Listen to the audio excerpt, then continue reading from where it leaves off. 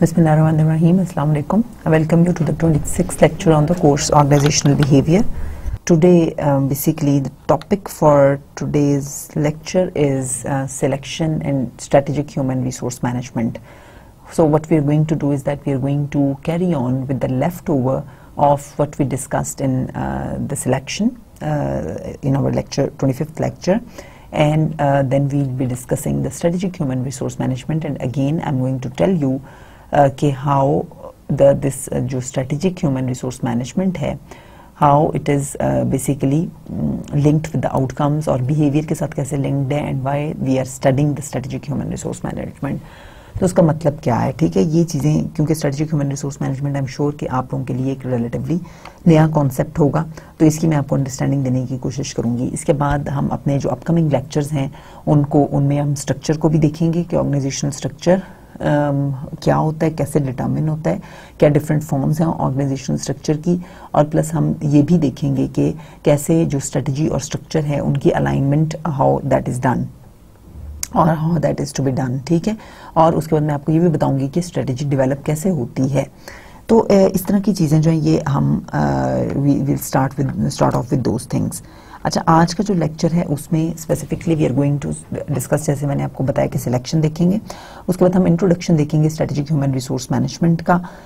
Elements देखेंगे of H R critical H R goals को discuss करेंगे। स्ट्रेटेजिक टेंशंस को डिस्कस करेंगे। फिर there are two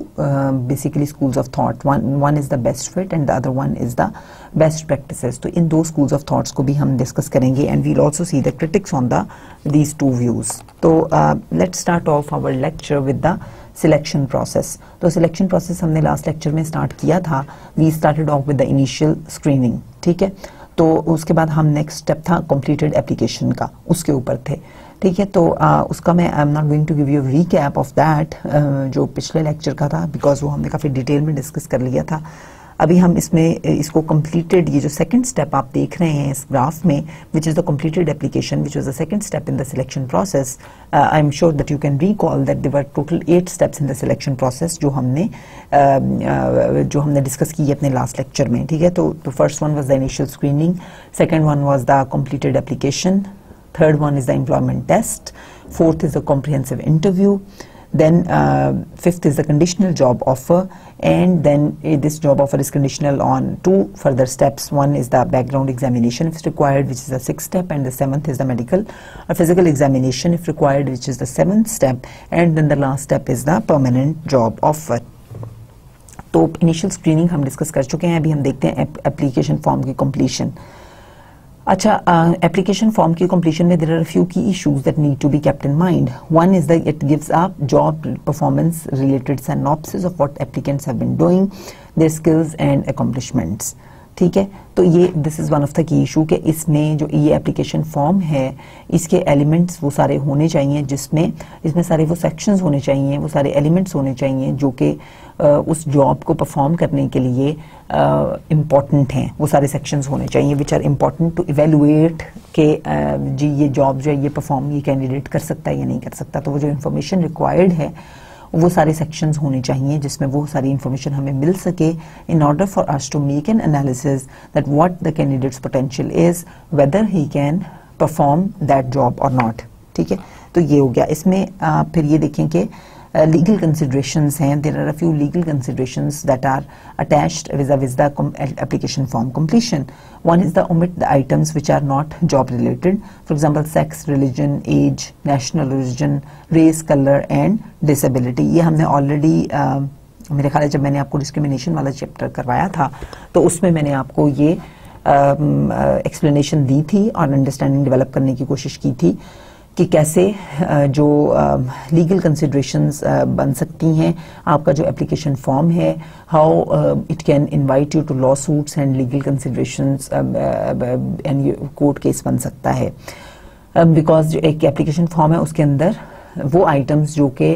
job related information नहीं है those items should not be a part of an application form ठीक है? सच एज आपकी जो पर्सनल इन्फॉर्मेशन है अब आपके डेमोग्राफिक्स की information for example about your sex about your religion आपका एथनिक बैकग्राउंड क्या है, आपकी ये जो जितनी भी इन्फॉर्मेशन है, ये सारी because this is all you know discriminatory information ना तो इन बेसिस के ऊपर तो डिस्क्रिमिनेशन हो सकती है। ठीक है तो आपको equal employment opportunity it is possible कि आप uh, को ना मिल सके when you are giving this kind furnishing this kind of information to the organization and when it is not job related ठीक है तो um, जैसे uh, हमने डिस्कस किया था अपने डिस्क्रिमिनेशन वाले चैप्टर में कि अगर बी ओ क्यूज हैं जैसे या बिज़नेस नेसेसिटी हो अगर कोई प्रैक्टिस ऑर्गेनाइजेशन की for example if the organization has required you know जो वही ड्राइवर वाली एग्जांपल ले लेते हैं कि अगर एक ऑर्गेनाइजेशन ने कहा है कि जी the drivers age should be less than 60 ठीक है? तो अब अगर वहाँ पे एप्लीकेशन uh, फॉर्म में आप एज तो फिर पूछेंगे ही because you have to evaluate whether the whether the person who is applying is plus 60 plus or six less than 60 but here you have a case. ठीक है, यहाँ पर इट इज़ क्लियर के this is this is this information is job related ठीक है and it is just cause information and it is not मतलब कोई इसमें डिस्क्रिमिनेटरी एलिमेंट नहीं है। You can prove that it is not a discriminatory इसमें कोई डिस्क्रिमिनेशन का सोर्स नहीं है। ठीक है but if you cannot prove that uh, the information that you are requiring in the application form is job related then the burden of proof lies on you and it might be considered a discriminatory practice and you might have to prove yourself as innocent in the court ठीक है तो आपको एक एक guilty आप हो जाएँगे। ठीक है देयर फोर ये इन्फॉर्मेशन और ये जो आइटम्स हैं, ये they don't have to be a part of an application form और इसी तरह ही आपका जो अरेस्ट रिकॉर्ड है, वो भी क्रिमिनल रिकॉर्ड्स हैं। There all you can not ask in the application form about the arrest records और द क्रिमिनल रिकॉर्ड्स आप उनके बारे में भी इंफॉर्मेशन नहीं ले सकते। Unless and until again it is basically job related हो। अच्छा उसके बाद it includes statements that give employer the right to dismiss an employee for falsifying information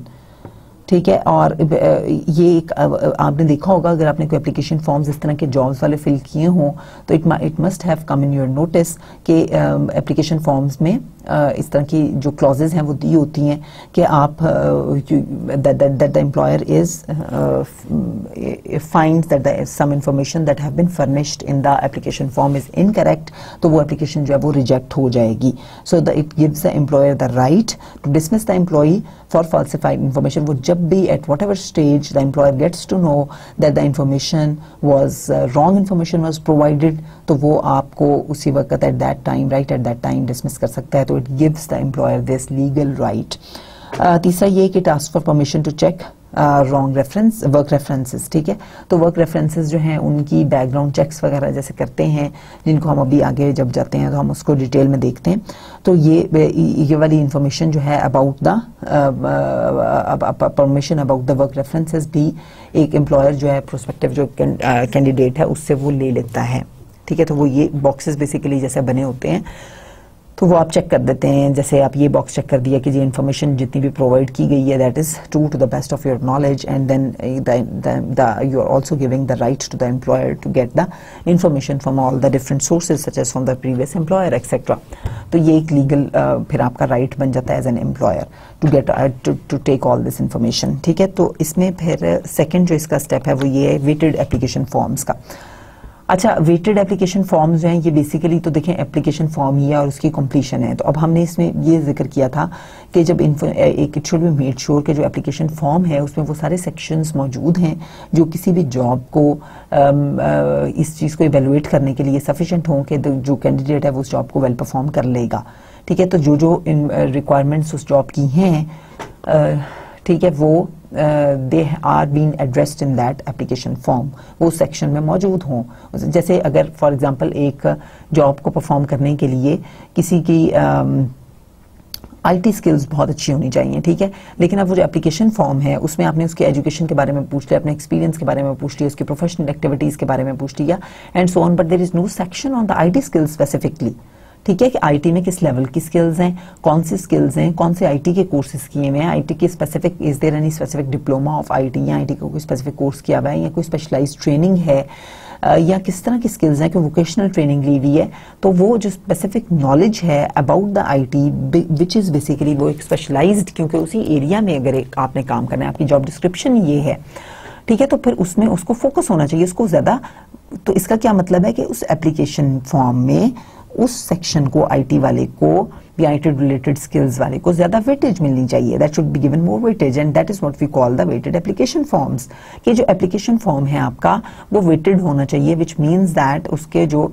different sections हैं they should be given weightage ठीक है कि and that of course that weightage will depend upon the nature of the job वो उस पर depend करेगी कि वो जॉब जो है वो किस तरह की है उसकी क्या नेचर है। Um, ठीक है वो that that will depend on कि what is the nature of that job तो अगर वो जॉब जो है वो uh, of uh, course um, अगर वो जॉब uh, आपकी जिस भी स्किल से रिलेटेड है और whatever it is related to it depends upon that the nature of that job के आपने कैसे उसको फिलअप वेट्स कैसे असाइन करने हैं। तो अब uh, इसी तरह ही अगर uh, एक मैनेजमेंट ट्रेनिंग प्रोग्राम्स होते हैं बैंक्स में ठीक है या डिफरेंट कंपनीज़ में मल्टीनेशनल्स में या दूसरी कंपनीज़ में वो प्रोग्राम्स बेसिकली डिजाइंड होते हैं फॉर द फ्रेश ग्रेजुएट्स ठीक है और they require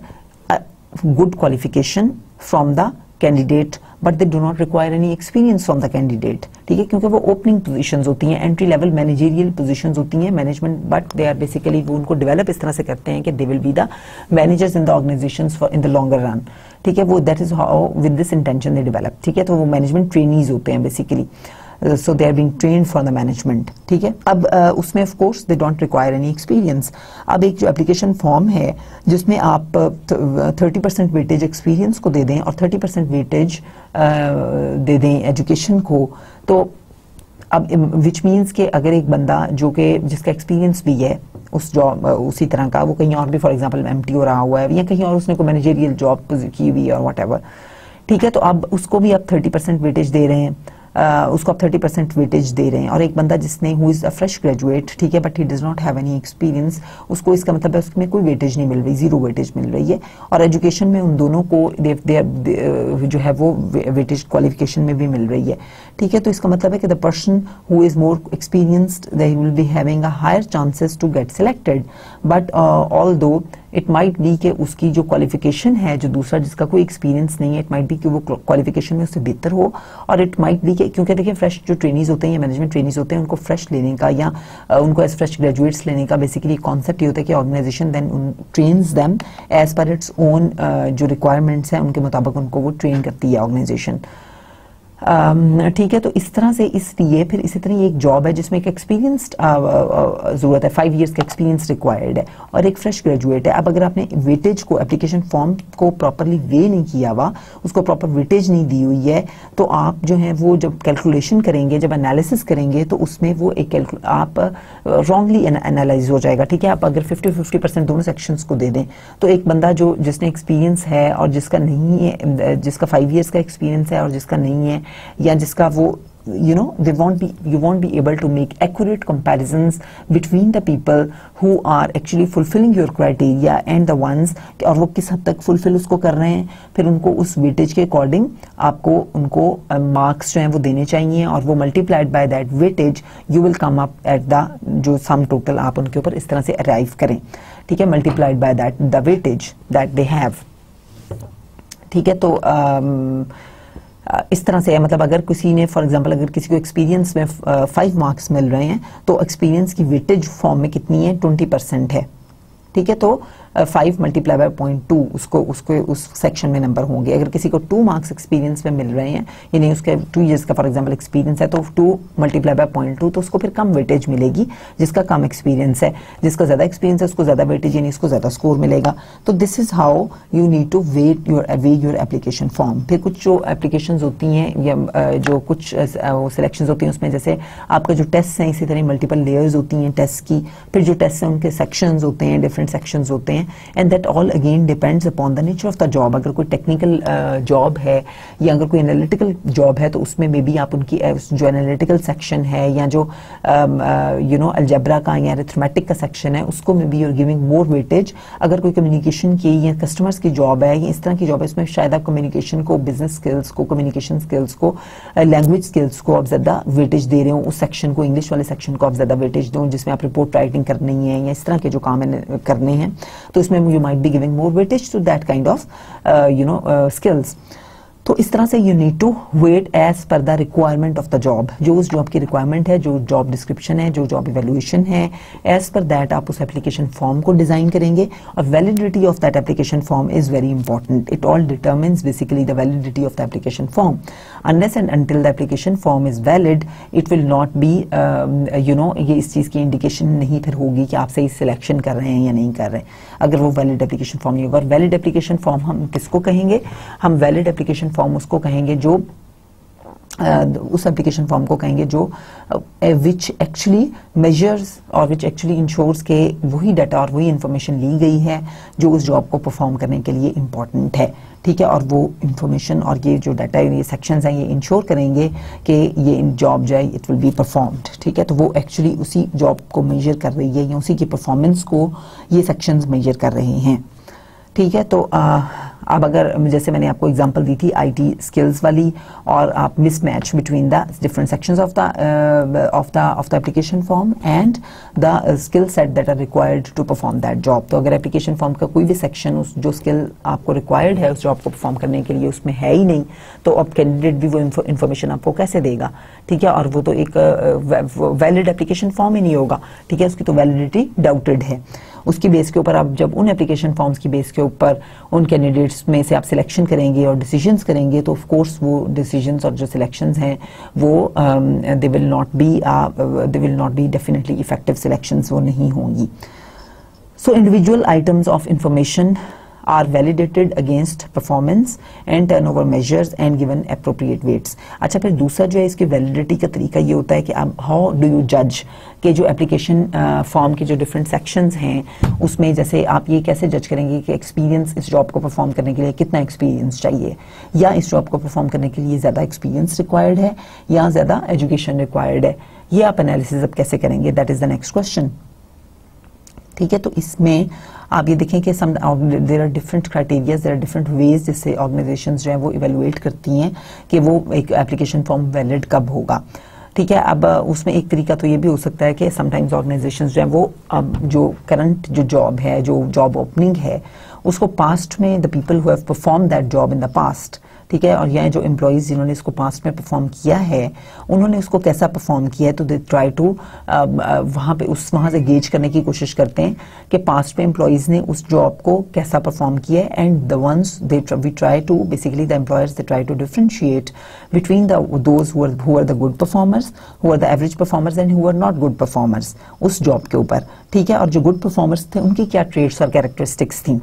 ठीक है? और उनकी किस किस्म की कैरेक्टरिस्टिक्स थी, उनके एक्सपीरियंसेस उनका एक्सपीरियंस किस तरह का था, उनके, उनकी एजुकेशन किस तरह की थी what kind of degrees they had what kind of skills they had what kind of experience they had ठीक है? और इसी तरह the ones who were average performers उनके किस तरह के थे और जो नॉन परफॉर्मर्स हैं, उनके किस तरह के थे? तो इस तरह से आप उनके एक बार you might be able to establish a pattern या एक ट्रेंड आपके सामने आ जाए कि जो अच्छे परफॉर्म जिन्होंने इस जॉब को किया है they really had good hands on experience on this job उनका अच्छा एक्सपीरियंस था इसके ऊपर एंड उनकी क्वालिफिकेशन ने उनको इतनी हेल्प नहीं की, लेकिन एक्सपीरियंस ने उनको ज़्यादा हेल्प की है। ठीक है तो इसलिए इस तरह की जॉब जो है, उसमें more experience is required than qualification ठीक है, जैसे आप फॉर एग्ज़ाम्पल इंडस्ट्री सेक्टर में चले जाएँ, और एक एकेडेमिया का यूनिवर्सिटी सेक्टर का और इंडस्ट्री सेक्टर का आप कंपेरिजन करें। ठीक है तो एकेडेमिया जो है, वहाँ पे जो रिक्वायरमेंट्स हैं there entirely different from the requirements that are there in the industry sector ठीक है अब जो एकेडेमिया है उसमें एंट्री के लिए and for the career growth and development और आप, अपनी अपॉर्चुनिटीज़ के लिए और एक्सेल करने के लिए आपको what you need is that I mean PhD degree is required now ठीक है? तो यहाँ पर ये होता है कि यहाँ पे जब when somebody is a PhD तो he is hired straight without any experience उस बंदे को एज असिस्टेंट प्रोफेसर हायर कर लिया जाता है। ठीक है? On the other hand the people who are not PhDs who don't have a PhD degree, who have just an MPhil or MS degree, उनको they they are hired only as lecturers. ठीक है? उनको एक सिर्फ़ lecture higher किया जाता है। और फिर then they can not be promoted to assistant professor unless and until they have a PhD degree so minimum requirement to enter to to become assistant professor in a university sector is PhD ठीक है? और अगर आपने PhD की हुई है तो if you and you don't have any experience you uh, you can straight away become assistant professor. But if you have uh, years and years of experience, but you don't have a PhD, you cannot become a assistant professor. You will remain only a lecturer. तो ये क्या है ये difference है skill experience का और education का ठीक है दिस इज़ द डिफरेंस और but this is in the university sector so again it depends upon the sector in which you are working किस तरह की नेचर ऑफ़ जॉब क्या है किस सेक्टर में आप काम कर रहे हैं ठीक है अब, लेकिन अगर एक जो पीएचडी है, फिर ही और she goes to the to the industry sector तो वहाँ पर एक PhD who is a fresh uh, you know degree holder who does not have any experience industry का उसको कोई एक्सपीरियंस नहीं है तो इंडस्ट्री में उसको he will be difficult to you know to be catered to उसकी एंटरटेनमेंट इंडस्ट्री में डिफ़िकल्ट होगी। Uh, उसको कोई ऐसी जॉब मिले जो कि कमेंसुरेट हो with his skills that would be difficult because industry sector जो है टोटली डिफरेंट मैकेनिज्म पे ऑपरेट करता है। इंडस्ट्रियल की जो रिक्वायरमेंट्स हैं दे आर टोटली डिफरेंट वो एक totally entirely different kind of professional setup है। तो और वहाँ पर जो है आपको एक्सपीरियंस ज़्यादा रिक्वायर्ड होता है you know need more hands on experience than a highest level academic degree उससे ज़्यादा एक्सपीरियंस को वो प्रिफर करते हैं। ठीक है? So for them a candidate who has only a masters degree but who has four to five years of experience on a particular job he will be more appropriate person he will be more attractive person for a specific position compare to someone who is a P H D degree holder but he और she has no industry experience ठीक है तो इस तरह से industry में और academia में this is the difference this is the difference of जो एक्सपीरियंस का और एजुकेशन का और रिक्वायरमेंट्स का। तो देखें वैलिडिटी है ना जॉब परफॉर्मेंस की। तो uh, जो एकेडेमिया है उसमें आपकी जॉब परफॉर्मेंस की वैलिडिटी जो एप्लीकेशन फॉर्म की है दैट हैज़ डिफरेंट सेक्शंस और जो इंडस्ट्री में एप्लीकेशन फॉर्म होगा उसके डिफरेंट सेक्शंस होंगे और इसमें उस वैलिडिटी क्राइटेरिया जो है उन दोनों में फिर डिफरेंट होगा because the job nature of jobs are different in the two sectors and the sectors operate on entirely different modes के ऊपर उनके इंटायरली डिफरेंट रिक्वायरमेंट्स हैं और उनके इंटायरली डिफरेंट जो है वो प्री रेक्स हैं उन जॉब्स को परफॉर्म करने के लिए। There for the validity application इसका ये मतलब है कि एक एप्लीकेशन फॉर्म को आप there is no one standardize application form नहीं हो सकता फॉर ऑल द डिफरेंट जो जॉब ओपनिंग्स हैं उनके लिए कोई ऑर्गेनाइजेशन एक सिंगल एप्लीकेशन फॉर्म को यूज़ नहीं कर सकती। So this is what, and this is another conclusion from this discussion. कि आप एक एप्लीकेशन फॉर्म को नहीं यूज़ कर सकते for for the different opening because every job opening has different उसकी वैल्यूएशन डिफरेंट है डिस्क्रिप्शन डिफरेंट है स्पेसिफिकेशन डिफरेंट है और as a result requirements to perform that job are different therefore जो सेक्शंस हैं जो इन्फॉर्मेशन आपको रिक्वायर्ड है वो भी डिफरेंट है. Therefore you can not need to mould the application form as per the job opening Okay, then data must be collected for each job to determine how well a particular item, for example, years of schooling, tenure on last job, predicts success on target job. So data, it must be, of course, collected on each job uh, in order to determine that how well a particular item, for example, years of schooling and tenure, etc., they predict uh, on the target job. So ये इसको हमने already discuss किया है कि आपने इनको कैसे, आपको कितने ईयर्स की स्कूलिंग चाहिए, कितने ईयर्स की मतलब टोटल कितनी आपको एजुकेशन चाहिए जॉब को परफॉर्म करने के लिए सिक्सटीन ईयर्स चाहिए एटीन ईयर्स ये सारी चीज़ें जो हैं, ये आप इस तरह से अपना एनालिसिस करके पास्ट रिकॉर्ड से पास्ट इंफॉर्मेशन गेन करके एंड ऑल दैट फिर आप इस तरह से ये एनालिसिस जो है वो करते हैं। Uh, then you have to, uh, we're completing that application form, the other key issue about this the, is that the successful applicants को हम देख लेते हैं कि information that is collected on application forms that can be highly predictive of successful job performance. Of course, अगर वो application form valid है, उसके सारे sections valid हैं, ठीक है, और उसको प्रॉपरली वे किया गया है वेटेज उसको प्रॉपर दी गई है, उसके डिफरेंट सेक्शंस को तो फिर ये एक्सपेक्टेड है कि वो जो एप्लीकेशन फॉर्म है, वो आपको हेल्प करेगा in to obtain the successful जो जॉब परफॉर्मर्स हैं, उनको प्रिडिक्ट करने में हेल्प करेगा कि those people who will be really successful in performing that job the prediction और the probability will be higher कि आपकी जो सिलेक्शन है, वो आप अप्रोप्रिएट कर लेंगे या सही सिलेक्शन कर लेंगे। Forms must be validated and continuously reviewed and updated ठीक है? तो एक चीज़ तो हमने ये देखी कि स्टैंडर्डाइज्ड एप्लीकेशन फॉर्म आपका डिफरेंट ओपनिंग्स के लिए यूज़ नहीं हो सकता। दूसरी चीज़ ये है कि उसी फॉर्म को you need to update that again and again अब मतलब अगर एक पोजिशन है uh, किसी की फॉर एग्ज़ाम्पल डेटा एनालिस्ट की पोजीशन है ठीक है? तो उसी को ही आप अगर देख लें तो आज से दस साल पहले जो एक डाटा एनालिस्ट का रोल्स थे डिफरेंट उस वक्त शायद वो मैनुअल ऑपरेशन ज़्यादा होंगे। ठीक है, अब जो है वो ऑपरेशंस देर मोर एनिमेटेड ज़्यादा हैं, ठीक है, और इसी तरह जो रिपोर्टिंग सिस्टम्स हैं, वो entirely over the period of time as a result of the you know information technology के स्प्रेड के साथ और जो आपके जो सॉफ्टवेयर हैं, उनके चेंज के साथ, उनमें चेंज के साथ मैनेजमेंट इंफॉर्मेशन सिस्टम्स में चेंज के साथ, जो रिक्वायरमेंट्स हैं वो totally to perform the job जो है वो चेंज हो गई हैं जॉब डिस्क्रिप्शन चेंज हो गई हैं and as a result of all this और ऑर्गेनाइजेशन जो है वो जैसे जैसे ज़्यादा फ्लैटर होती जा रही हैं, आपके जो रिपोर्टिंग सपोर्टिंग रिलेशनशिप्स हैं, वो भी फ्लैटर होते जा रहे हैं टीम्स का कॉन्सेप्ट ज़्यादा आता जा रहा है एंड स्टफ़ लाइक दैट तो they because of these number of changes जो ऑर्गेनाइजेशन में आ जाती हैं, फिर एक्सटर्नल जो मार्केट में चेंजेस आती हैं, वो ऑर्गेनाइजेशन को इन्फ्लुएंस कर रही होती हैं जॉब डिज़ाइन को इन्फ्लुएंस कर रही होती हैं तो ये सारे फैक्टर्स जो हैं हम इनको ऑलरेडी इंडिपेंडेंटली इन सारे फैक्टर्स को डिस्कस कर चुके हैं। तो ट्राई टू उन सबको अपने माइंड में लाने की कोशिश करें, और एक अंडरस्टैंडिंग अपनी, एक जो है वो कोहलिस्टिक व्यू जो है वो बनाने की कोशिश करें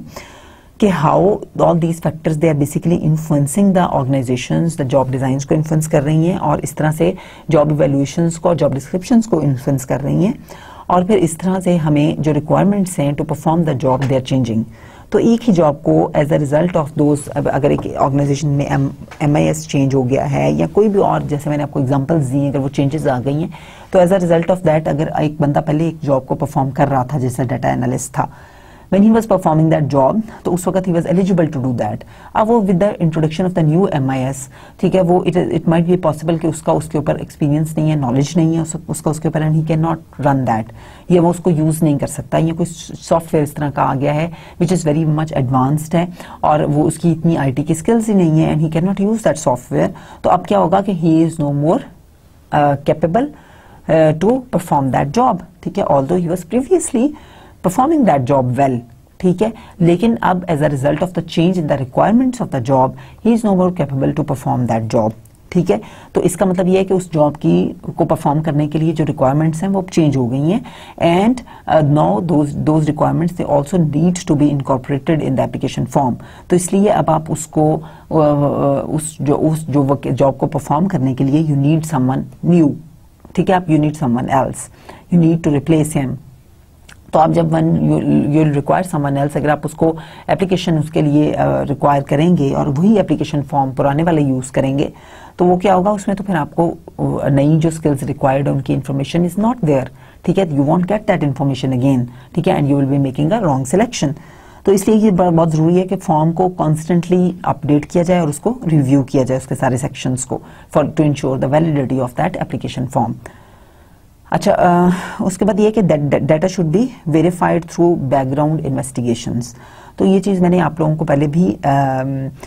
बताई थी कि जो बैकग्राउंड इन्वेस्टिगेशन है उसके ऊपर तो ये कंडीशनल होता है कि जो इन्फॉर्मेशन आपको मिल रही है वो आ, जो है वो करेक्ट है या नहीं है। और अगर वो फॉल्सिफाइड इन्फॉर्मेशन है तो वो you can be hanged any time अच्छा जब एप्लीकेशन फॉर्म कंप्लीट हो गई, वो फॉर्म्स भी सेंड हो गए, उसके बाद एम्प्लॉयमेंट टेस्ट होते हैं, ठीक है? वंस दोज पीपल हु जिनकी application forms they were completed in all respects what they get is that they get a call for the employment test ठीक है? और estimates they say that about 60% of all organizations, they use some time or employment tests ठीक है? तो of course they are very commonly use employment test बहुत commonly use होते हैं organisation में। Uh, जैसे परफॉर्मेंस सिमुलेशन टेस्ट हैं which require the applicant to engage in specific job behaviors which are necessary for doing the job successfully. तो they are also a type of the simulation कुछ तो simple paper pencil test होते हैं, फिर online test भी होते हैं। आप फेमिलियर होंगे कि अब तो ऑनलाइन टेस्ट भी हो जाते हैं, जिसमें आप कंप्यूटर के ऊपर यू आर गिवन टाइम आपको दिया होता है आपने within that stipulated time over the computer online आपने उसको टेस्ट को देना है और सबमिट करवा देना है। ठीक है, और इसी तरह लेकिन पेपर पेंसिल टेस्ट भी होते हैं, फिर परफॉर्मेंस सिमुलेशन टेस्ट भी होते हैं विच आर बेसिकली एक सिमुलेटेड इन्वायरमेंट क्रिएट कर देते हैं which is just like the actual जो जॉब का वर्क इन्वायरमेंट है, उस तरह का वो इन्वायरमेंट क्रिएट करके and then they see that how you perform किस तरह आप अपने बिहेवियर्स के एग्जिबिट करते हैं, कैसे आप इंगेज करते हैं, और आपके बॉडी जेस्टर्स आपके मूवमेंट्स आपका way of doing things how you how you you know address कैसे करते हैं इशूज़ को, चीज़ों को, ये सारी चीज़ें आप मॉनिटर कर सकते हैं through this kind of performance simulation test which are you know एक जो आर्ट क्रिएटेड इन्वायरमेंट होता है सिमुलेटेड इन्वायरमेंट होता है। उसके बाद जो है हमारे कॉम्प्रिहेंसिव इंटरव्यूज़ है। Once the test are also done ठीक है तो उसमें there are different types of test जैसे मैंने आपको बताया। जब वो टेस्ट हो गए, जो भी किसी ऑर्गेनाइजेशन का टेस्ट का पैटर्न है, जब वो टेस्ट हो गए तो उसके बाद अगला स्टेप क्या है कि इंटरव्यू का स्टेप आ गया उससे अगला। सो इंटरव्यूज़ आपको पता है कि they are basically they involve face to face meeting with the candidate to probe areas not addressed by the applicant, application form or tests. तो एप्लीकेशन जो इंटरव्यू है, उसके क्या एडवांटेजेस हैं? Why you need to make an interview जब आपने test कर लिया, उसकी असेसमेंट सारी कर ली कॉम्प्रिहेंसिव टेस्ट हो गए वाई इंटरव्यू देन तो इंटरव्यू के पास interview is a way of analysing the employee and judging the employee उसको इवेलुएट करने का उसमें वो इस तरह की इन्फॉर्मेशन इंटरव्यू से आपको मिल जाती है जो कि टेस्ट uh, में इंफॉर्मेशन आपको नहीं मिल पाती ठीक है? सच एज वो जो कैंडिडेट है एक तो आपको उसकी you know about the communication skills उसकी किस तरह की इंटरपर्सनल स्किल्स किस तरह की हैं, उसका बॉडी लैंग्वेज किस तरह की है, उसका इन सारी चीज़ों के बारे में तो इन्फॉर्मेशन आपको मिल ही जाती है। But there are number of other things such as जैसे आपने ये देखा होगा कि सम पीपल टेस्ट में और इन राइटिंग या रिटर्न एग्ज़ाम्स में they perform very well but it when it comes to the oral presentation they can not do well at all ठीक है they are very poor in that ठीक है तो वो इसी तरह जैसे आपने देखा होगा कि वाइवा में जो रिटर्न होता है जैसे आपके, आपने लोगों ने you must have gone through the whole the आपने अपने ओ लेवल्स में या मैट्रिक में you must have gone through के जैसे एग्ज़ाम्स होते हैं स्कूल्स में,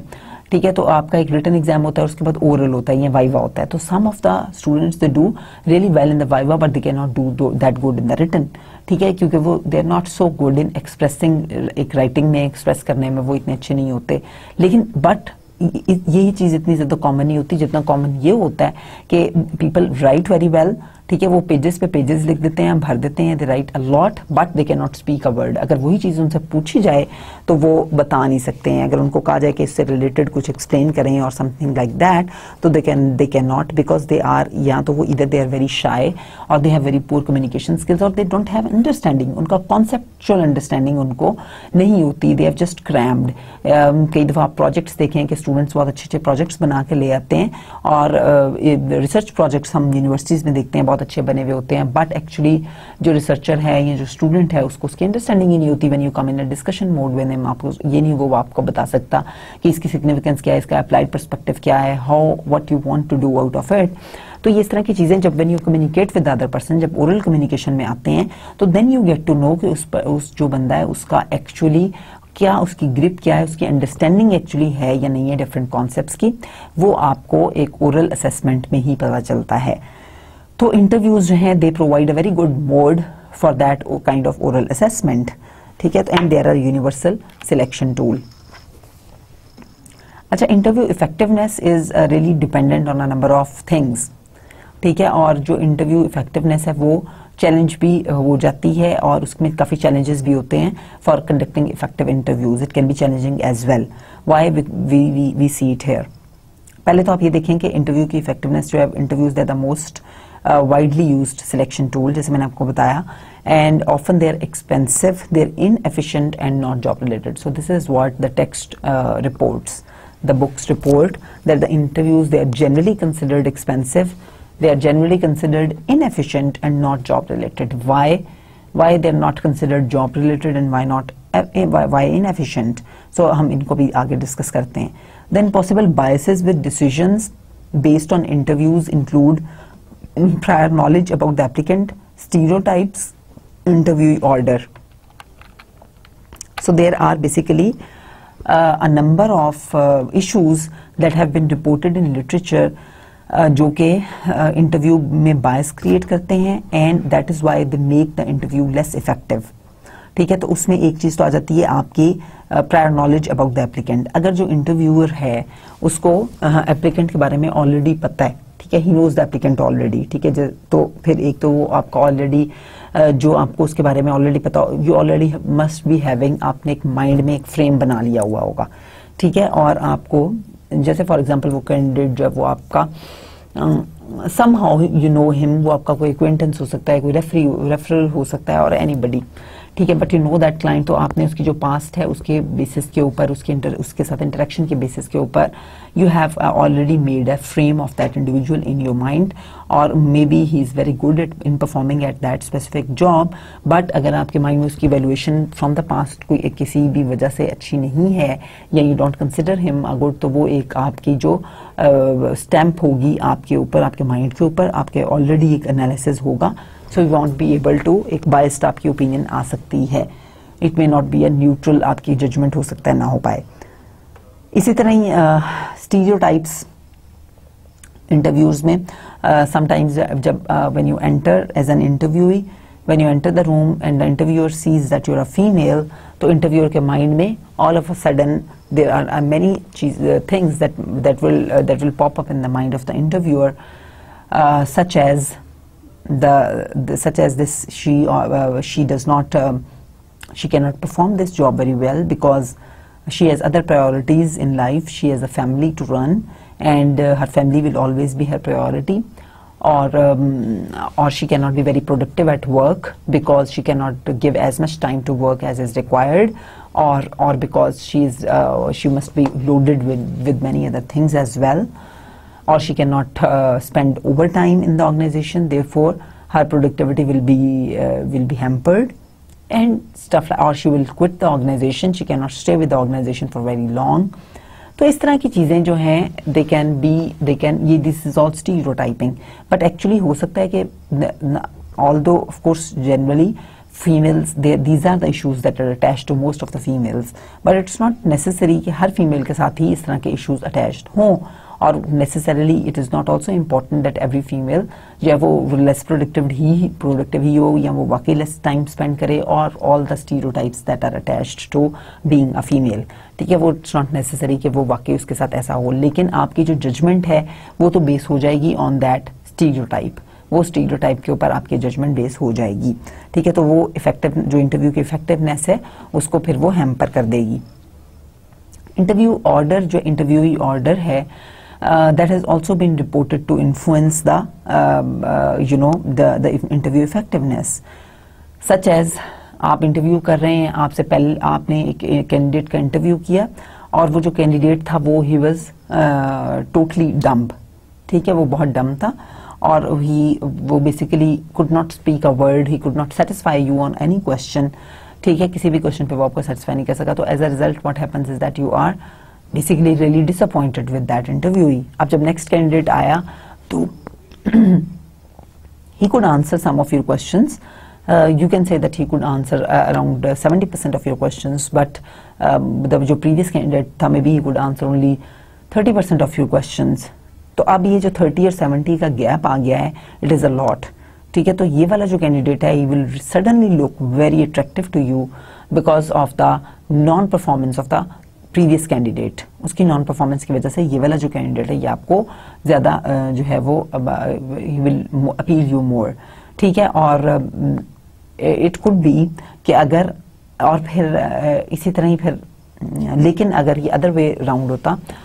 ठीक है if uh, the, the the candidate who comes next to you you will again make a comparative analysis that how the previous candidates have been doing in the interview and how that current candidate is uh, doing in the interview so this is how your judgment is based on the interview order as well. So if the previous candidates that are coming for the interview, if, if they were not doing well, they were poor, but uh, the subsequent candidate is uh, performing better, but it's he's still not outstanding candidate, but still your judgment will be based on the past performance of the past candidates that had that have interviewed in the past. Okay okay, uh, तो uh, एक चीज़ ये चीज़ हमने देख ली और इसके बाद there is another important thing जो कि यहाँ पे inefficient and non not job related हमने देखा है तो इसमें आप ये देख लें कि जो नॉट जॉब रिलेटेड है of course why not job related ये इशूज समटाइम्स वहाँ पर होता है इंटरव्यूज़ में कि जहाँ पे इंटरव्यूज़ आर नॉट स्ट्रक्चर्ड ठीक है, जहाँ पे इंटरव्यूज़ अनस्ट्रक्चर्ड जितना इंटरव्यू ज़्यादा अनस्ट्रक्चर्ड होगा,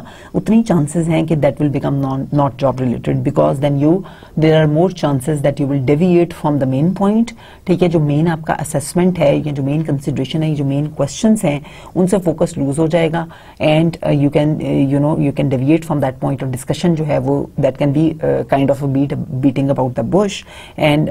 you know जो आप एक्चुअल असेसमेंट है, वो रह जाएगी। दैट इज़ वाई हम ये कहते हैं और अक्सर ये होता है कि जो अनस्ट्रक्चर्ड इंटरव्यूज़ होते हैं they are non job related consider फिर इसलिए होते हैं और इनएफिशिएंट इसलिए वो कंसिडर होते हैं। But there expensive because of course जो इंटरव्यू इंटरव्यू पैनल है, उसका पूरा आपने उसको बिठाया हुआ है, उसका टाइम लग रहा है एनर्जीज लग रही हैं और जो आपकी दूसरी,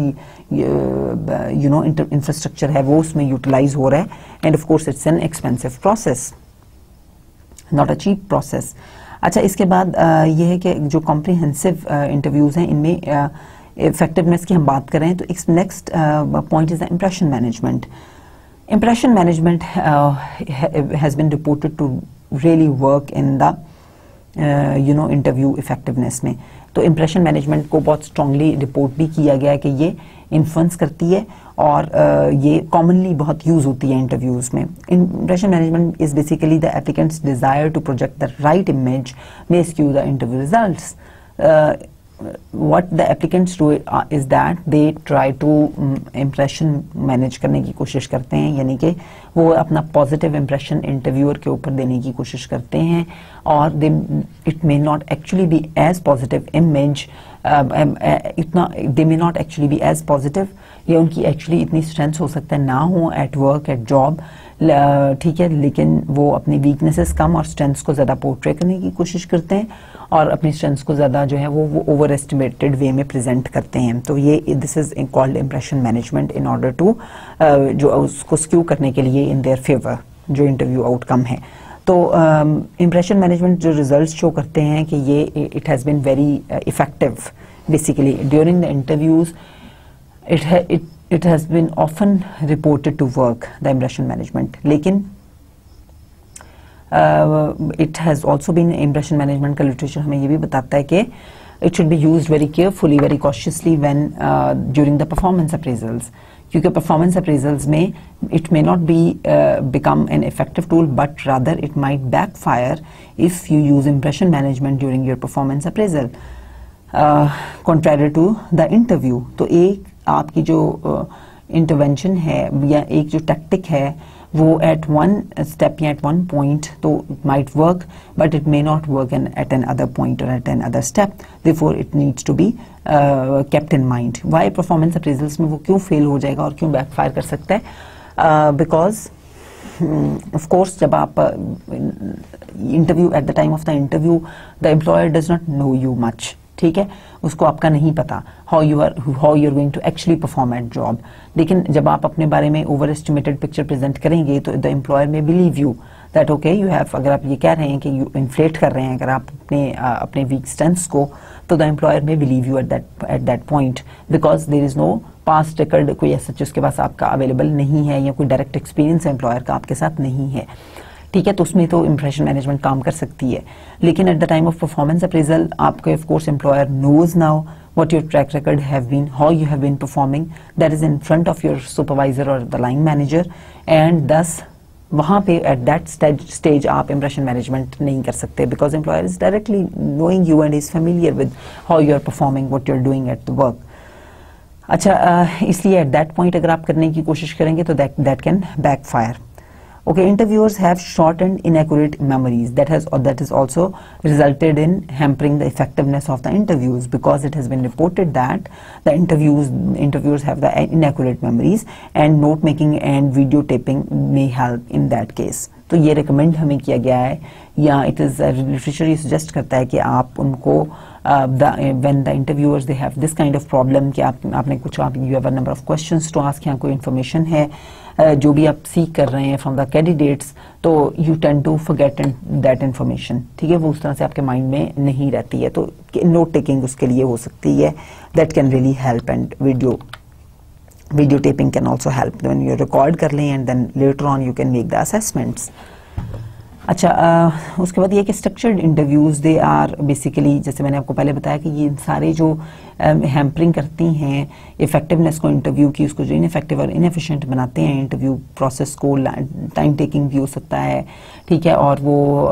जो एक्यूरेट इन्फॉर्मेशन है वो भी हो सकता है उसमें आपकी ना हो। इन सारी चीज़ों से बचने के लिए स्ट्रक्चर्ड इंटरव्यूज़ जो हैं वो प्रपोज किए गए हैं कि इंटरव्यूज़ जो हैं वो उनको स्ट्रक्चर किया जाए। Which use the fixed questions designed to assess specific job related attributes. तो उनको एड्रेस करने के लिए बेसिकली जो स्ट्रक्चर्ड इंटरव्यूज़ हैं वो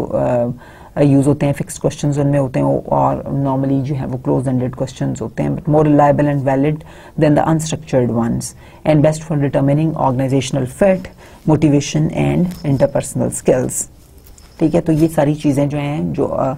आपकी लिमिटेशंस हैं अनस्ट्रक्चर्ड इंटरव्यूज़ की, या जो जो चीज़ें इंटरव्यूज़ को इनफेक्टिव बनाती हैं, अगर हम अनस्ट्रक्चर्ड इंटरव्यूज़ यूज़ करें तो वो हमें हेल्प हो सकती है। फॉर एग्जांपल आप फिर मोर जो टू द पॉइंट क्वेश्चन पूछ सकते हैं, आपके पास कंप्लीट एक इन्फॉर्मेशन पिक्चर ज़्यादा बेहतर वे में आ सकती है, आप ऑर्गेनाइजेशनल फिट जो है, उसको अचीव करने में स्ट्रक्चर्ड इंटरव्यूज़ आपको हेल्प कर सकते हैं कि पर्सन के बारे में वो इन्फॉर्मेशन वो चीज़ें पूछी जाएँ जो कि पर्सन ऑर्गेनाइजेशनल फिट को इस्टेब्लिश करने में हेल्प करें उस पर। and you also try to understand about the motivations and the interpersonal skills of the other person then they are also especially useful for managerial jobs and the less routine ones unme they are especially uh, useful because uh, of course wo they are more around ki technicality वहाँ पर ज़्यादा involve होती है और वो इतनी routine type hirings नहीं होती ना या इंटरव्यूज़ नहीं होते मैनेजर्स के ठीक है तो देयर फोर वहाँ पर structured interviews are more important Uh, then we see that this uh, the behavioral interviews such as the candidates are observed not only for what they say but how they behave. ठीक है जैसे मैंने आपको बताया कि आपका जो body gestures हैं बॉडी लैंग्वेज है आई कांटेक्ट है आईज की मूवमेंट है इवन जो इंटरव्यूअर्स हैं it has also been reported that वो इस चीज़ से भी आपको इवेलुएट करते हैं that if they offer you a cup of tea whether you accept that cup of tea और नॉट ठीक है because it has also been reported कि ये भी आपका कॉन्फिडेंस को शो uh, करता है that whether you accept a cup of tea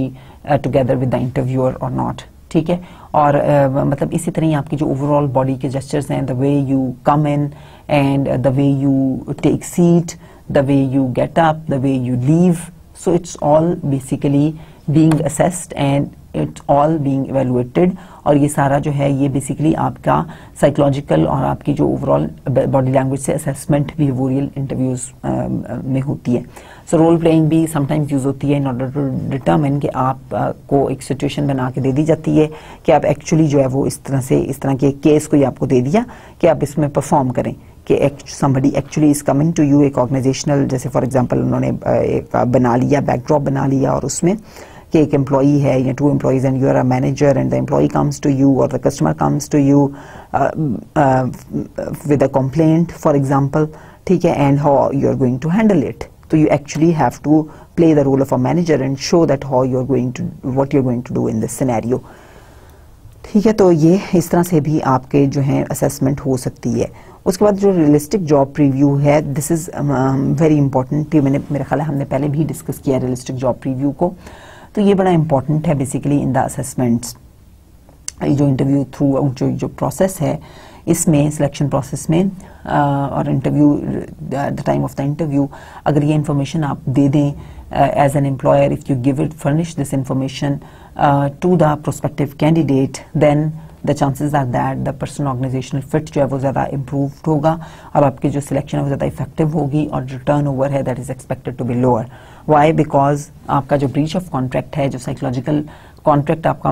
हो जाता है, जिसको हम पहले भी डिस्कस कर चुके हैं तो वो जो साइकोलॉजिकल कॉन्ट्रैक्ट है, उसकी फिर in this case it is expected कि अगर आप एक रियलिस्टिक जॉब प्रीव्यू दे दें तो वो रियलिस्टिक उसकी फिर वो वो ब्रेक नहीं होगी ब्रीच नहीं होगी। तो जैसे मैंने आपको बताया कि इंप्रेशन मैनेजमेंट एम्प्लॉय करता है तो वैसे ही इंप्रेशन मैनेजमेंट एम्प्लॉयर भी तो कर रहा होता है। ठीक है? तो जब वो इंप्रेशन मैनेजमेंट कर रहा होता है यानी कि इट मीन्स कि वो जो पॉजिटिव्स हैं जॉब के वो बता रहा होता है और जो जॉब्स के नेगेटिव्स हैं such as it might be कि वो जॉब बहुत स्ट्रेसफुल हो ठीक है? और उसमें काफ़ी ज़्यादा वो यू you नो know, बहुत टारगेट ओरिएंटेड हो बहुत स्ट्रेसफुल हो ठीक है? और बहुत डेडलाइंस वाली हो and you really have to meet the deadlines ठीक है? और बहुत वो टाइट डेडलाइंस हों टाइट स्केजुअल्स हों लॉन्ग वर्क हो ओवर वर्किंग हो लॉन्ग वर्किंग आवर्स हो एक्सेट्रा ठीक है? तो ये सारी चीज़ें जो हैं if you are not reporting them at the time of the interview employer की भी रिस्पॉन्सिबिलिटी है कि वो जॉब के बारे में ऑर्गेनाइजेशन के बारे में उसके कल्चर के बारे में एग्जैक्ट इन्फॉर्मेशन जो है वो प्रोवाइड करे टू द कैंडिडेट लेकिन अगर वो उसको नहीं करता उसको पॉजिटिव्स बताता है उसको फेवरेबल uh, जो एस्पेक्ट्स हैं जॉब के वो बताता है तो फिर वो एक रियलिस्टिक जॉब रिव्यू उसको प्रेजेंट नहीं कर रहा और उसके सामने एक रियलिस्टिक पिक्चर नहीं है जॉब की और रिज़ल्ट उसका ये होगा कि after some time after the he the candidate selected जब कुछ टाइम उसको गुजर जाएगा वर्क टू वर्किंग तो उसकी क्या है डिसअपॉइंटमेंट्स उसको आना शुरू हो जाएँगी एंड साइकोलॉजिकल कॉन्ट्रैक्ट जो है उसकी ब्रीच होना शुरू हो जाएगी। He might find himself misfit with the organisation with the culture of the organisation and the norms of the organisation and that job may not look him attractive as it was looking at the time of the interview because he was not given a real picture of the job. तो realistic job preview जो है वो that is better for not only for the employees but also for the employer because it can save you the cost of hiring a wrong candidate जिसका एक organization के साथ fit ही ना हो या जो उस job के साथ fit ही ना हो उसको हायर करने से बेहतर है उसमें सारा उस ऑल उस सारे स्टेप्स से लेकर उसको इतनी कॉस्ट भी उसके ऊपर लगाई और फिर इन द एंड जो वो कैंडिडेट है वो आपको टर्न uh, ओवर कर जाए तो what's the use of all that process it's all gone waste than ठीक है और इसमें काफ़ी सारी चीज़ें हो सकती हैं जो कि हेल्प कर सकती हैं uh, इसमें रियलिस्टिक जॉब प्रीव्यू में सच एज द ब्रोशर्स हो सकते हैं फ़िल्म हो सकती हैं टूर्स हो सकते हैं वर्किंग सैम्पल्स हो सकते हैं verbal statements and they all can realistically portray the job अब समटाइम्स ऑर्गेनाइजेशन ये भी करती हैं कि in order to give the realistic job preview वो एक एम्प्लॉई को भी बिठा देती हैं द इंटरव्यू पैनल जो एग्जिस्टिंग या करंट एम्प्लॉई है, जो उस जॉब को या उससे सिमिलर जॉब को परफॉर्म कर रहा है तो वो उसको भी बिठा देते हैं और फिर उसके साथ एक्सचेंज भी थोड़ी बहुत या उसके साथ उससे भी थोड़ा सा पता चल जाता है कि वो जो है किस किस्म की what is the type of the job it is so of course they reduce the turn over rates because उससे फिर एक्सपेक्टेड है कि आपकी जो साइकोलॉजिकल कॉन्ट्रैक्ट है उसकी ब्रीच कम होगी। बैकग्राउंड इन्वेस्टिगेशन के ऊपर हमने uh, मैंने आपको पहले बताया था कि जब एक कंडीशनल जॉब ऑफ़र हो जाती है तो that is basically on the background information investigation के ऊपर वो बेस्ड होती है कि whether that is satisfied so verify information from the application form जो एप्लीकेशन फॉर्म पे इन्फॉर्मेशन दी गई है you need to investigate that whether that information was correct और not so typical information verified includes क्या क्या वेरीफाई आप करते हैं? एक तो formal former employers previous job performance ठीक है कि आपने जो रिपोर्ट किया हुआ है कि यहाँ पे आप काम कर रहे थे और these were your former employers तो दे एक्चुअली आर ठीक है, आप प्रीवियस जॉब के ऊपर आप कैसे परफॉर्म कर रहे थे तो वो आप कैसे ले सकते हैं? You already have this undertaking आप ले लेते हैं। कि आप जो है वो जो उसका पास्ट एम्प्लॉयर है, उससे रेफरेंस ले सकते हैं। यू टेक द रेफरेंस और you can contact that reference and he can give you the information ठीक है तो वो जो प्रीवियस जॉब परफॉर्मेंस है, उसके ऊपर आप प्रीवियस एम्प्लॉयर से you can take the information then about the education के जो आपने एजुकेशन दी है या जो आपने टेस्ट आपने दिए हुए हैं रिकॉर्ड्स दिए हुए हैं, जो सर्टिफिकेट्स वगैरह दिए हुए हैं दे आर ऑल जो वैलिड हैं और वो करेक्ट हैं। ठीक है, और ऑथेंटिक हैं वो। जेनवन है ओरिजिनल है. जेनवन है नॉट ओरिजिनल ठीक है? तो ये सारी चीज़ें जो हैं, ये आपने एजुकेशन में आपके आ जाती हैं कि ये सारे चेक्स हों then legal status to work whether you are allowed legally to stay मतलब स्पेशली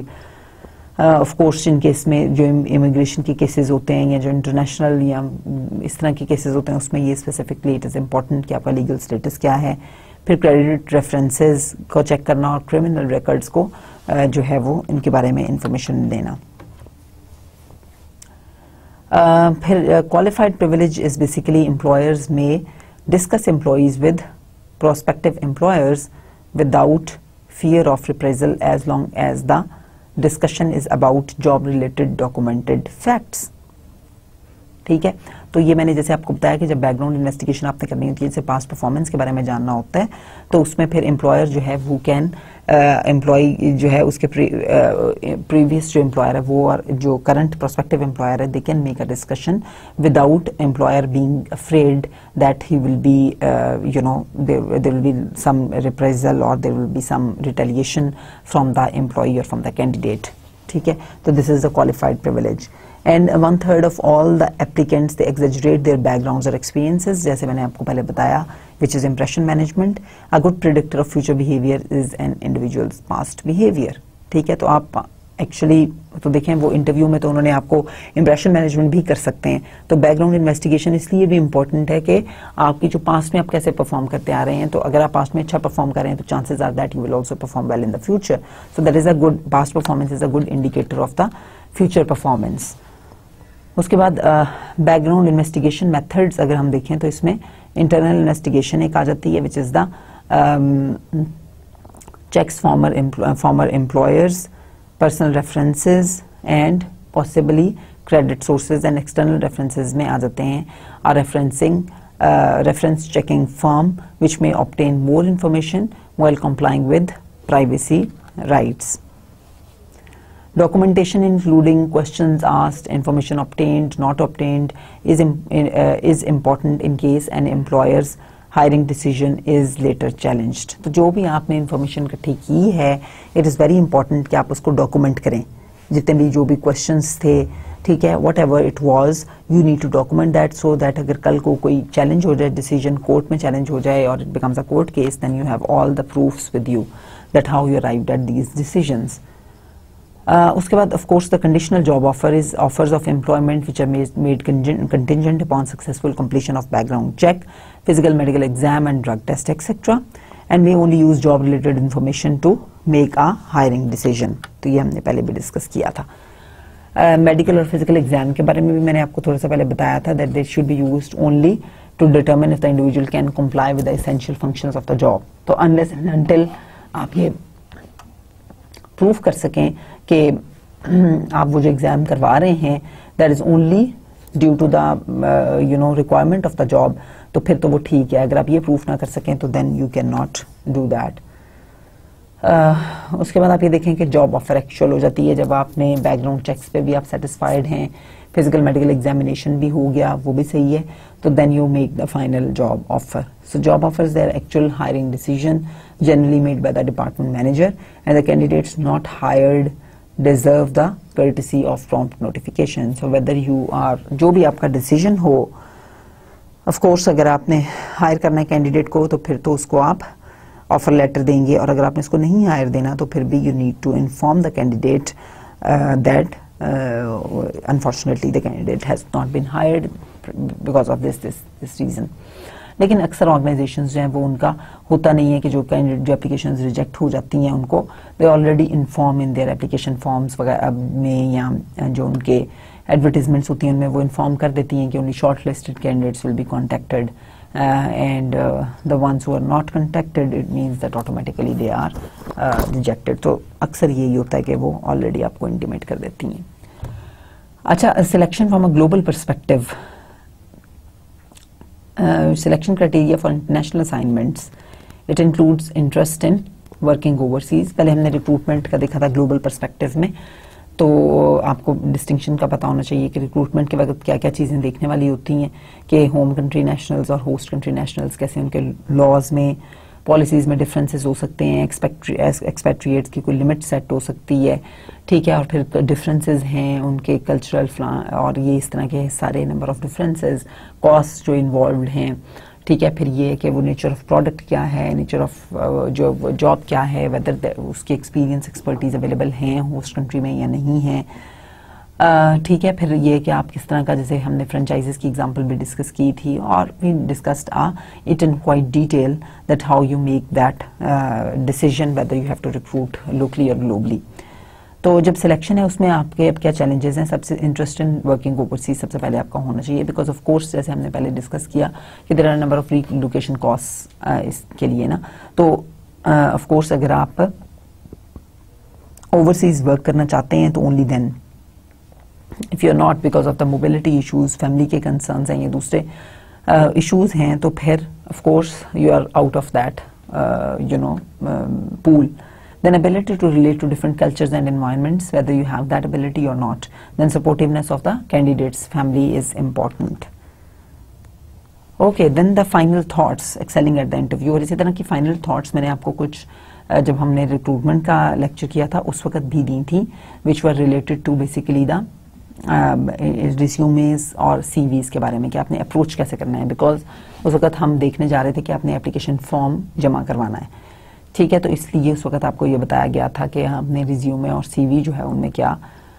डिफरेंसेस हैं? एक अच्छा जो रिज्यूम है, उसमें क्या क्या होना चाहिए? सीवी भी क्या होना चाहिए? सीवी कब बनाते हैं? रिज्यूमे कब बनाते हैं?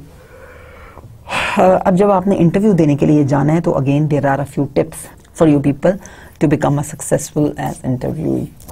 do some homework on the company why it is really important because जिस कंपनी में आप कंपनी जिसके बारे में आप ये कह रहे हैं कि it is it is your aim that you want to be a part of this company अगर आपको वो कहें कि जिस कंपनी का प्रोफ़ाइल बताएँ what do you know about this company तो अगर आपने उसको होमवर्क ही नहीं किया होगा, आपको पता ही नहीं होगा कि उस कंपनी के क्या बिजनेसेस हैं, क्या उसके मिशन क्या है विजन क्या है उस कंपनी का, उसकी स्ट्रेटजी क्या है, क्या लाइन ऑफ़ बिज़नेस है, क्या प्रोडक्ट्स हैं उसकी किन किन एरियाज़ में, किन मार्केट्स को टैप करती है कौन से कस्टमर बेस है उसकी।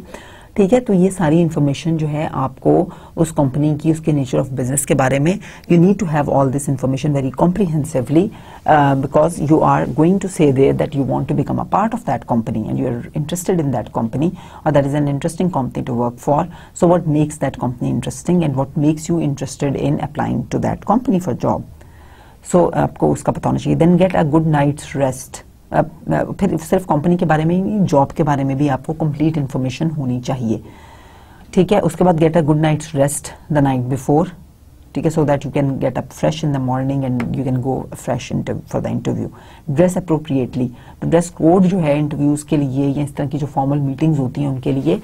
there is a formal dress code होता है बाकायदा। उसमें फिर कलर वगैरह भी होता है कि जैसे don't wear too bright colour जैसे ब्लू जो है दैट इज़ ऑफन एक इंटरव्यू का कलर समझा जाता है। ठीक है, और जो बहुत ब्राइट कलर्स होते हैं, उनको अवॉइड करना चाहिए। फिर इसी तरह ही मेल फीमेल्स के कलर्स होते हैं, उनके ड्रेस कोड होता है। इंटरव्यूज़ का you should know that and you should keep that then arrive for the interview a few minutes early ठीक है, ये भी इंपॉर्टेंट है कि आप थोड़ा सा पहले इंटरव्यू के लिए आ जाएँ सो दैट आप then you are well prepared and you you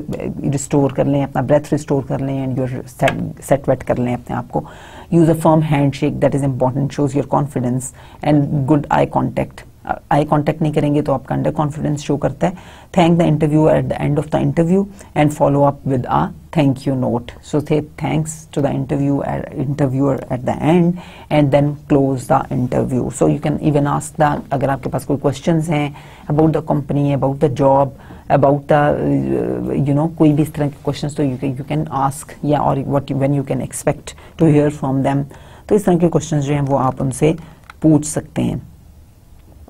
ठीक है, इसके बाद हमारा जो है वो आज के दिन के लिए तो हमारे पास we are finished with the time for today I am sure कि आप लोगों ने आज का लेक्चर एंजॉय किया अगेन हमारे पास कुछ लेफ़्ट ओवर uh, हमारे जो ओवरव्यू था उसमें हमारे टॉपिक ज़्यादा थे लेकिन we had I think longer discussion on selection और इसके ऊपर भी हमारे काफ़ी सारे मिसिंग मतलब रहते थे. डिस्कशन होने वाले पॉइंट्स तो इसलिए it took us a longer little longer to finish this अभी जो बाकी हमारी स्ट्रेटजिक एच आर है और उसकी alignment between with the employ behaviours and the goals etcetera we are going to discuss it now in the next lecture तो अभी for now I say you good bye I hope you enjoyed today's lecture I wish you all the best thank you and हाफिज़